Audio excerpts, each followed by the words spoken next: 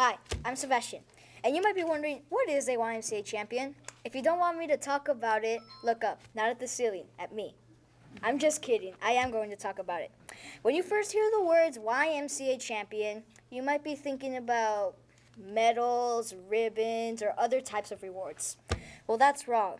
A YMCA champion is somebody who follows the four YMCA character values, which are respect, responsibility, honesty, and last but not least, caring.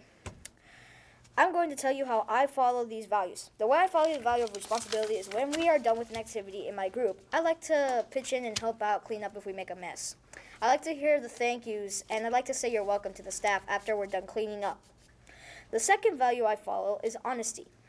The way I showed honesty was at the YMCA. One day I did something so unspeakably horrible that I lied about it. I felt so sick the next day that I knew I had to tell the truth and be honest. After I told the truth, I knew I did the right thing. Of course, I got a punishment for what I did.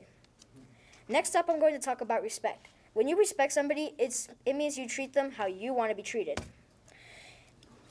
If you want, if you like being treated with kindness, treat others that way. So that way, those same people will treat you back the same way.